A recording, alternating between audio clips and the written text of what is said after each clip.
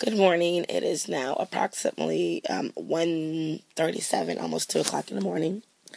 I have chemo in the morning. I really need to get some rest, but I'm really excited. I know I need to blog. I just wanted to, again, thank everybody for the continued support and prayers because guess what? The prayers are working. I wanted to read one thing, a couple things from my, um, I have the CT report. I know everyone got the Facebook post, but I told you that my tumors are shrinking, but they are absolutely shrinking, and one is no longer there.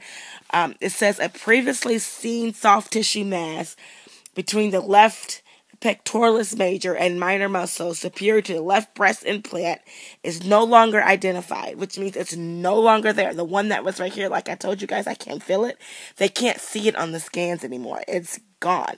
There's several nodes that have decreased. I'll read you just a couple. One says there is my left axillary node um, have decreased in size, in size, excuse me. It now measures at 1.5 centimeters times 1.4 and previously was at 3.5 centimeters times 2.8. There's another one that now measures at 0, 0.5 times 0.3 and it previously measured at 2.3 times 1.3. Okay. There's one that now measures at 1.2 times 0.9, which was at 1.1 times 0.9. So these nodes are decreasing and there is no suspicious um, osteolytic and osteoblastic osseous lesions are identified. Abdomen, pelvis, liver, gallbladder, pancreas, spleen, adrenal glands, kidneys are all normal. Thank you, Jesus. As my sister says, I'm a living, walking miracle. And what I want to point out is uh, this is round four of the chemo. I all and I said, if you can remember, and pre- this is the report, so you guys don't think I'm crazy. See the report? I know it's kind of hard to look at, but I'm going to try to put the camera on the report. This is ridiculous. If you can see it, okay try to read that there. Okay, so we know that that is the actual report. I said that after my third chemo, I was gonna get a CT scan, and if the results were not to my liking, where the tumors have multiplied or increased or spread at other places, I was gonna stop my chemo. Well, I'm starting chemo. I'm doing chemo tomorrow, so the CT scans were great. I'm continuing chemo. Now, I did have some hard questions for my doctor that I want to report to everyone so we can all understand this. And my sister pointed out to me this. I'm lucky. No, I'm blessed. I am incredibly blessed because I have churches, my own church, my own pastor, um, and his wife praying for me all the time and just really um, making it known that I'm in their prayers, I'm in their thoughts, and announcing it and talking about it in front of the church Sunday. That is awesome.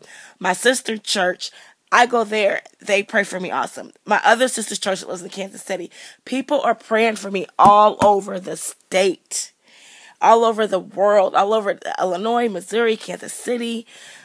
I mean, you name it. I've got people because Facebook is big, and I know that a lot of friends from college that I post a lot of my stuff on. So I have a big big, big, big support system. And I am so incredibly blessed that I have that support system. And that plus the clinical trial, which is the veliparib, veliparib, starts with a V, I think I'm pronouncing it correct, um, combined with my chemo are shrinking these tumors, which is buying me more time here. Um, I had some hard questions for my doctor. I asked my doctor, you know, unfortunately, my cancer is treatable, but it's not curable. So, according to the doctor, the chemo will eventually stop working and the cancer will spread and it will be my demise. It will be my demise. That's what the doctor said on Tuesday when I went and saw her, May 26th. I'm sorry, May 27th. I asked her about prognosis questions, which is really uncomfortable for the doctor, but she has to answer them in a way that a doctor would answer them. And she told me, without chemo, I had months to live. With chemo, I have months to years. We don't how many we don't know how many years. She cannot put a number on the years.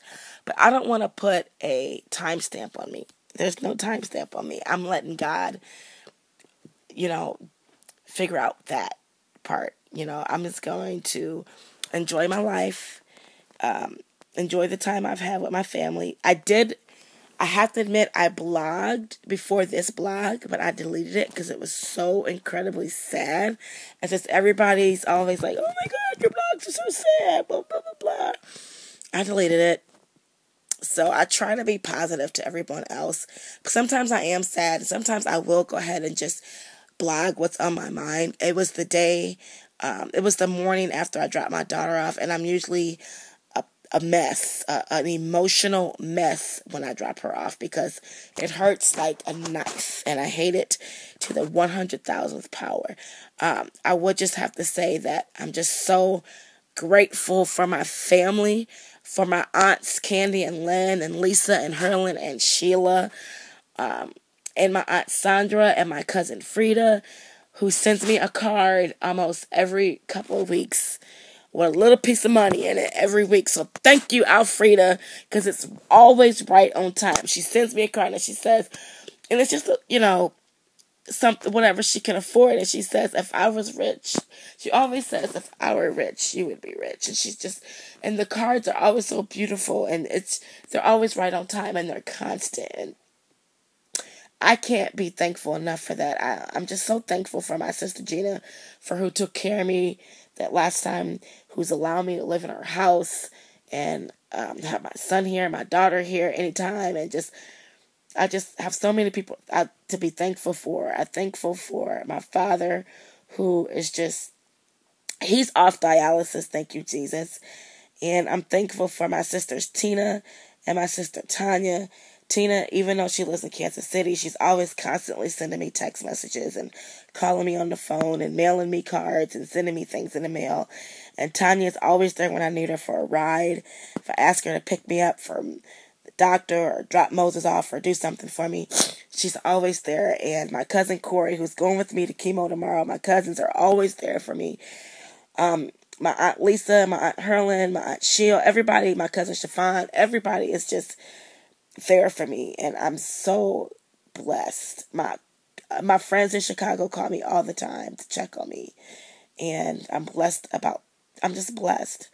I um I still have a little bit of a cold. the doctor says it's probably a virus because it lasted so long. I'm gonna I'm on some antibiotics now. Um, my white cells were up to 1800, which is really good, so I'm good on that. Um, I'm just blessed and I thank you and I thank God. I thank God for my son and my daughter who are continue to be strong, you know, sometimes when it's hard. Um, and I know they are and I don't want to cry. I'm I'm happy and sad at the same time if that makes sense. I'm happy because yeah, I'm I'm a miracle. My stuff is shrinking, but I'm sad because I have cancer and I don't have any hair and my life is like never gonna not have cancer. This is gonna, I'm gonna, I'm gonna have to deal with this situation.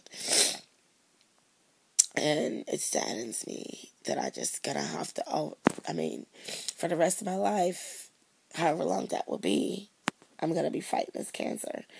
But I have so much support to help me in this fight that I don't mind it at all. Oh, I forgot to mention I was able to see my brother, and I love him too, and his wife and his family. I mean, it's it's just sad. I don't. I, no one should have to go through cancer, but whatever. I'm going through it, and I'm gonna get through it. Um, so I don't feel too well, and it's getting late. And I got chemo in the morning. I just wanted to say thanks so much again. I love everybody. I love you all for everything. And um, let's get ready for this round four and shrink the rest of these tumors because there's some of tumors that I will have to say I do have some tumors that did not change in size, but we're not going to worry about that. But there are a couple of them that did not change, and I have tumors in my neck, is where they're at. I have what they call nodes, I guess, or lymph nodes here, and um, some areas in my neck that are cancerous. Um, that are still there, but they're small. But whatever. And the bones, we did not do a PET scan. So my doctor says um, because the other tumors are shrinking, that most likely the bones are shrinking. But I will get a PET scan. Um, after three more rounds of chemo, I'll get another CT scan and then a PET scan, and then we can see what's going on with my bones. Um, but she did say that um, most likely that everything was shrinking with the bones as well. Because remember, I have um, a lesion in my left leg and some lesions on my rib, um, on my rib cage, and on my lower back, which is kind of a lot. Think about it, man. Let's not think about it. Let's just think about it healing. I love you guys. It's getting late. I'll see you till next time. I promise I'm going to try to blog more. But here's the thing let me tell you why I don't blog as often. Because it's not that I'm always sad, and I'm not. I'm not sad. But what I want to blog about is real stuff. And it's sad. Not that I'm sad, but the stuff that I blog about is sad. And I'm.